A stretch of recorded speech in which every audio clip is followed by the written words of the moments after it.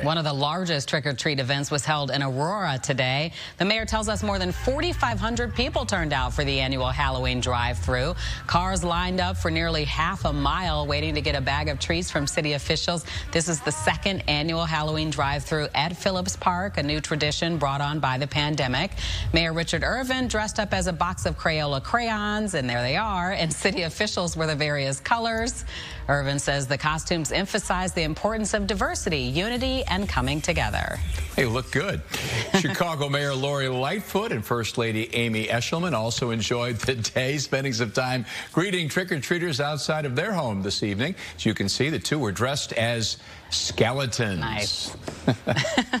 and in Springfield, Governor Pritzker and First Lady Mary Kathryn Muenster dressed up to give out candy. The governor dressed as a referee. As That's you appropriate. Might, as you might be able to tell, he's used to that duty. Right. And his wife was a roller derby skater.